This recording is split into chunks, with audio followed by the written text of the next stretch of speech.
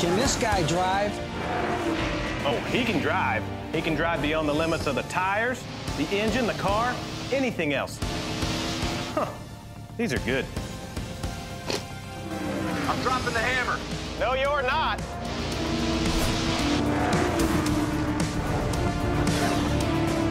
I'm gonna give you an engine that's low to the ground.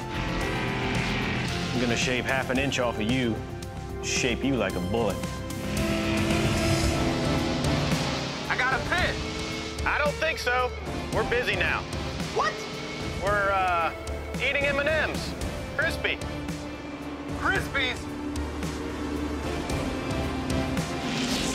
I want you to go back out on that track and hit the pace car. Hit the pace car. Hit the pace car. What for? You've hit every other darn thing out there. I want you to be perfect. He didn't slam into you. He didn't bump into you. He didn't nudge you. He rubbed you. And rubbing, son, is racing. I was desperate to get your attention. Well, you got it. I've walked into an M&M's Wonderland. Come up here. I'll take you to a race. If a driver gets his bell rung and a couple of lights flicker and he loses what he needs, more than anything in the world, he loses his need. The need to drive right out there on that crispy edge. The crispy edge.